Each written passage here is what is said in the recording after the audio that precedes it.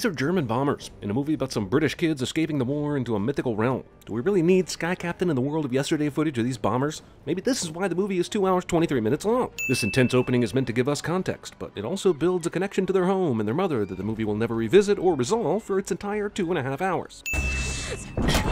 Why can't you got anyone but yourself? You're so selfish. You could have got us killed. You know what else could get you killed, Peter? Leaving that bunker door open just so you can chastise your little brother. Shut the door. When boarding a train, please make sure to inform us if you are starring in a film, so you can be seated by a window on the station side for maximum waving effect. Thank you and enjoy your evacuation. You will listen to your brother, won't you, Edmund? Be a big girl. Okay, I will, but, um, do you mean emotionally, like Dakota Fanning and Man on Fire? Or do you mean physically, like 80s Monica on Friends? Or do you mean spiritually, like that whale rider chick? Movie isn't the Screwtape letters. Mrs. Macready? I'm afraid so. Movie spends so much time Oliver twisting and Anne of Green Gabling, I'm beginning to wonder if it's ever going to go Narnia chronicling. And above all, there shall be no disturbing of the professor. Oh, now I understand this too long setup. They're hoping to create a Narniaverse, which I guess they kind of do for another movie or two. I don't know. I forget how it all worked out. Was it Latin? Yes. Is it Latin for worst game ever invented? Edmund is such a miserable, whiny little bastard, always correcting everyone and pointing out the mistakes and hey! Random and convenient, completely empty chest is both random and convenient.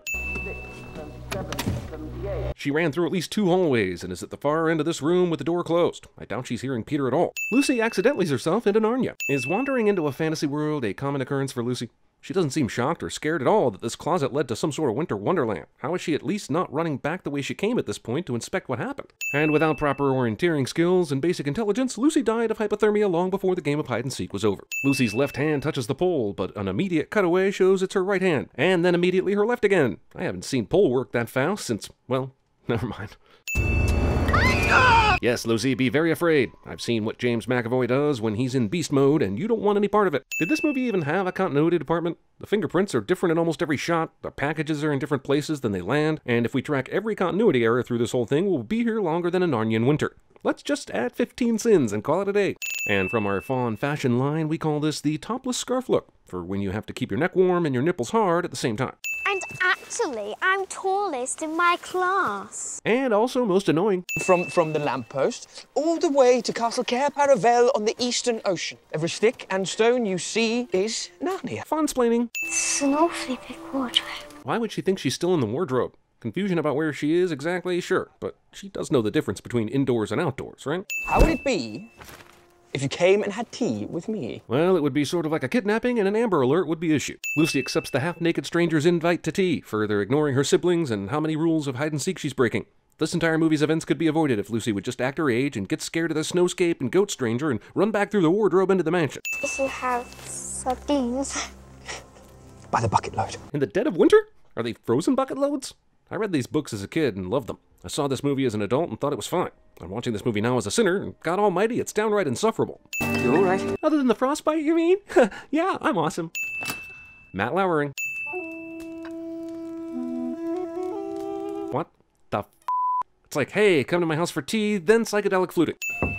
Why would whatever magic powers this thing has not let the siblings get to Narnia now if it's just going to let them do it the next time? God, even the wardrobe itself is involved in the scheme to pad the runtime. If she knows she's going back to Narnia, wouldn't she do more to prepare than just slide some boots on? Maybe a jacket? A hat? Some fawn repellent? So Lucy comes through to Narnia and immediately meets good guy Tumnus Bombadil. Edmund comes through to Narnia in the same spot, mind you, and immediately meets bad guy Ice Queen. Is Narnia super fucking tiny or just super fucking convenient? Anything you'd like to eat?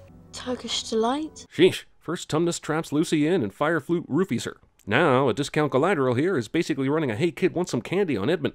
I'm not sure who the Narnian version of Chris Hansen is, but they suck at their job. Grumpy Dwarf is a dick to magic chalices. We must assume she's telling the truth. Old, goofy, and confusing guy who likes to smoke a pipe gives the small heroes advice while seemingly just babbling about gibberish. Again, I'm not sure who got there first, but it's clear as day Lewis and Tolkien were writing their famous fantasies at the exact same time. Poised to take yet another wicket. Cricket. With that, Mike. When did Lucy even have time to make that snowball? Her hands are empty here, and Peter has been looking at her the whole time. Snowball fight? Really? It's your first time in a magical land fully contained inside a wardrobe, not your first time seeing snow, you fing dolts. 30 seconds of filmmaking tricks designed to make viewers scared and nervous, only to introduce a goddamn beaver who is a good guy that will go on to help them. This is the movie's version of a time wasting jump scare. Yeah, boy. I ain't gonna smell it. English speaking, upright walking beaver behaves completely like an actual beaver for no apparent reason, especially considering beavers likely never met an actual beaver to know how to beaver in the first beaver. Beaver. He's a beaver. He shouldn't be saying anything. Susan would be excellent at anthropomorphisms. That's an awful lot of open flame for a structure made entirely of wood. I'm just saying, don't borrow a faulty crock pot from the neighbors. That's all. Fish and chips. Hmm, large dam, element of danger, talking beavers, sardines. This movie has most of my sexual fantasies all rolled into one scene. Who's Aslan? Who's Aslan? you cheeky little blighter. Why would Beaver think that they knew this and were joking? He knows they're not from here, right? They don't even know about the prophecy. Prophecies. You know, that doesn't really rhyme. Poem Nazi. It's time the four of us were getting home. Ed? That damn room is in no damn way big enough for Edmund to have made his damn escape without being seen. These doors seem a bit impractical. Edmund is a punk ass little bitch. Already ditched his family to race to the obviously evil queen because she has some candy. Walks through a field of statues that, to me, the casual observer, are clearly Medusa style frozen real creatures, and draws glasses and a mustache on one. Edmund. This movie should have been called Chronicles of Narnia. Edmund is a ponce. Also, movie has time for this. My apologies, fortunate favorite of the Queen. Or else, not so fortunate. Jeez, Wolf, if you're gonna sinisterly foreshadow the Queen's evil intentions, at least wait until you're out of Edmund's earshot to do so. This way. For your num-nums. Honestly, I wrote and erased several jokes about this line, but ultimately I can't shake the thought that This Way for Your Num Nums would make an excellent band name. Man, how many movies is Liam Neeson in where a pack of wolves are the bad guys? Movie cheats like my college girlfriend here, and it makes me furious because the kids and Beaver are already gone when the wolves show up. But to keep the audience surprised, they edited the footage to make it look like the wolves had shown up before they got away. Basically, they edited this with the editorial hand of a Keeping Up with the Kardashians showrun. It's a good thing the Beeves built this escape tunnel big enough for humans to run through. That's some pretty impressive foresight, I tells you. This barrel is A, too small to cover the opening, B, too light to not easily be moved, and C, rollable. This in no way betters their predicament. Ah, the old hide high up in a tree and hope you can remain quiet routine. Never mind how the f they got up there so fast. They ran north.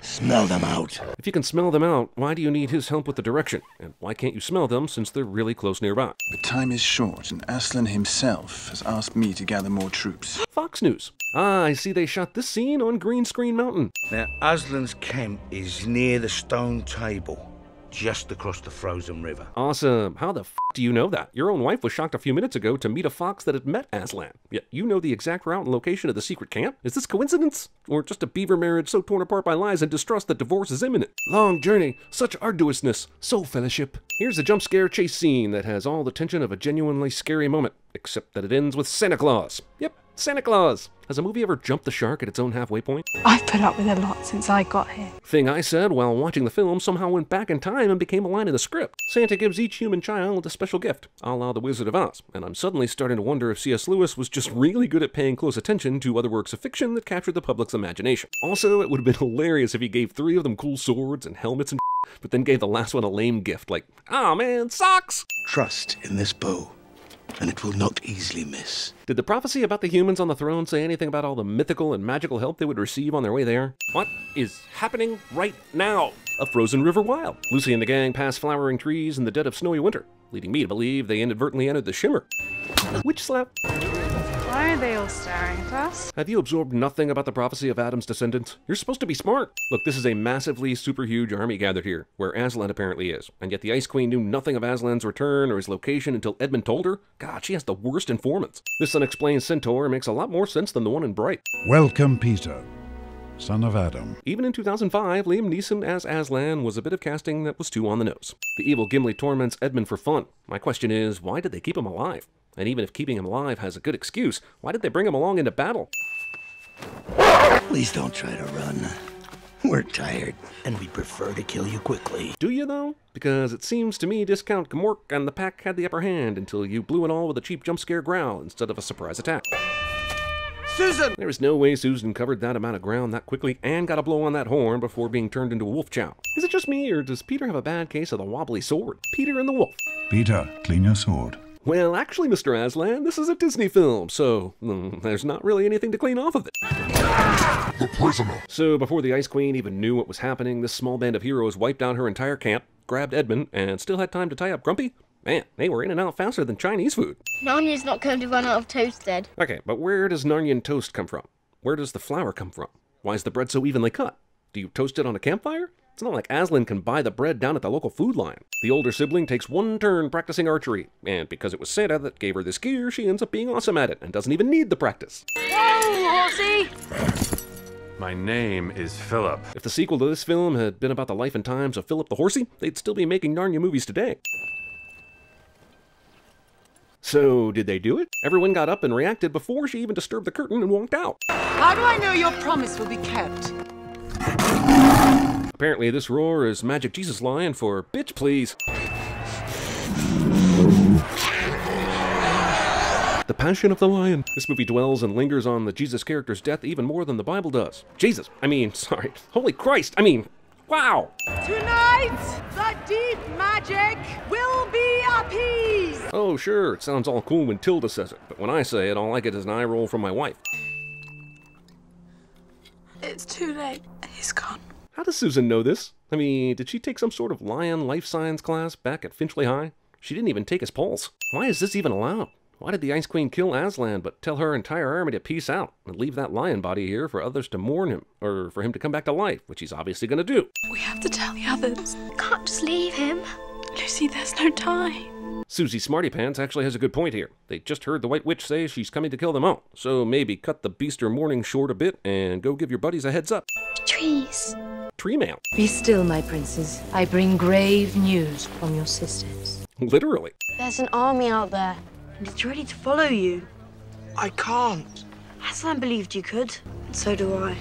The f- You were literally betraying him up until a few minutes ago. For reasons I hope are well established at this point, I believe this giant eagle can just go f itself right in the ear. Thank God they escaped the dangers of World War II. I'm sure these three are supposed to be giants, but am I alone in thinking this looks more like three regular blokes and a bad case of Honey I Shrunk the Mythical Horde? This Battle of Helm Shallow will contain lots of clanking metal and not a single drop of blood. At least four straight minutes of battle I've seen done better by more than one film or franchise. The point is that this film's biggest sin is repetitive blandness. I mean, who is actually surprised by this? Way too much time spent with Aslan explaining the table, the markings, and does anyone else remember there's a battle going on right now? Generic, Weta would have done it better battle footage. Once Aslan is alive, this movie becomes predictable as hell. Good to see Wakanda send some help. Sure, it looks like this sword goes through the arm here, but in the follow-up shots, the sword clearly missed his arm completely for Pete's sake. I mean, literally. It is finished.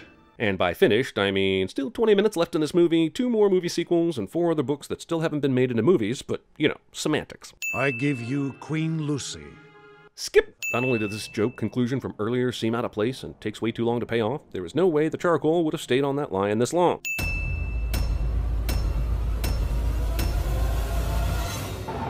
Long live the king. Albus Severus Potter. You were named after two headmasters of Hogwarts. And as such, there are a few rules we need to follow. There will be no shouting or running. Move any article without a voucher, and they dock you! I am a hat. You are a shoe. The juice of the fireflower. I'm going to start beating the shit out of you in the next five seconds. And you're going to swallow a lot of blood for a f***ing billfold. Lucy. Where are you? Lucy, you got some explaining to do. It's a beaver. Thank you. I just had it stuffed. Let it go, let it go. Look, just because some man in a red coat hands you a sword, it doesn't make you a hero. You can't expect to wield supreme executive power just because some watery tart threw a sword at you. Don't waste my time with flattery. This is going to be a total cluster cuss.